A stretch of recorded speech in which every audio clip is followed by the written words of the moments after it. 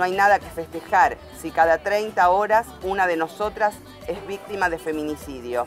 No hay nada que festejar si no se respetan ni garantizan derechos y deseos sexuales reproductivos.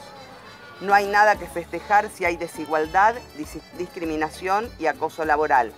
No hay nada que festejar si como sociedad seguimos educando machos y princesas.